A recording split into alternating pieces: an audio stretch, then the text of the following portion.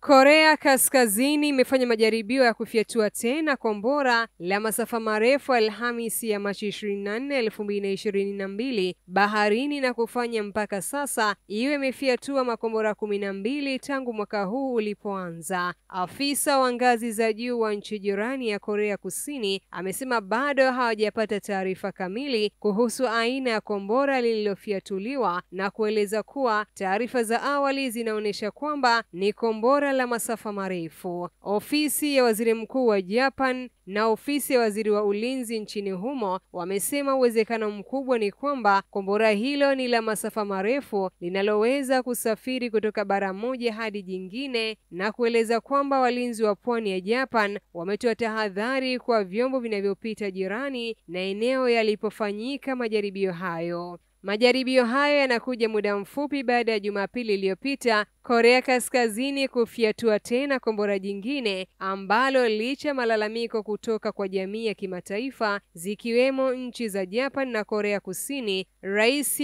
Kim Jong Un ameendelea na mfululizo wa majaribio yake. Baadhi ya watafiti wa siasa za Korea Kaskazini wameonya kwamba huenda mfululizo wa majaribio ya silaha nzito yanayofanywa na Korea Kaskazini ni salamu kwa Marekani ambayo uhusiano kati ya mataifa hayo umeendelea kulegalega hususan kuhusu makubaliano ya silaha za nyuklia ambayo yamekuwa yakikwama mara kwa mara. Katika siku za hivi karibuni, Korea imefanya majaribio ya silaha mpya na za kisasa zaidi yakiwemo makombora ya hypersonic ambayo yanatajwa kuwa na uwezo wa kusafiri kutoka Korea Kaskazini mpaka nchini Marekani kupitia anga la bahari ya Pasifiki. Pia imefanya majaribio ya makombora hatari ya masafa marefu ya Wasong 17 ambayo bado yanaendelea kuboreshwa ili afike mbali zaidi. Maafisa wa Korea Kaskazini wamedai kwamba majaribio mapya si kwa lengo la kumtishia yeyote, bali yanatumika kupima na kuboresha kamera maalum za satelaiti zinazotumika kwenye masuala ya ulinzi ili kuilinda nchi hiyo na mashambulio ya anga.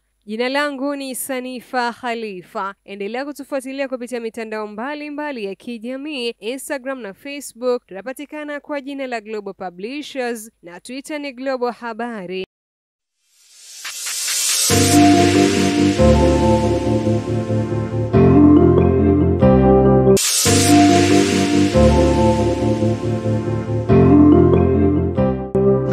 Makeka ni mkurugenzi wa Afrotel Group Company Limited. Kampuni yetu inajihusisha na uwekezaji katika ardhi.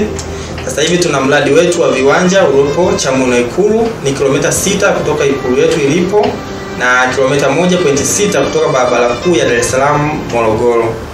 Uh, tulikuwa na mradi wa viwanja 100, sasa hivi tumebakiza viwanja 42. Karibuni sana mjipatie viwanja vyenu. Viwanja ni vizuri, ardhi imepimwa, imepangwa na bei ni nafuu. Tunatoa mpaka ofa ya hati, tunatupa tuna kibali cha ujenzi na kutengenezea ramani kwa bei ya 2800 kwa siku ya mita na 3000 kwa installment per square meter. Karibuni sana.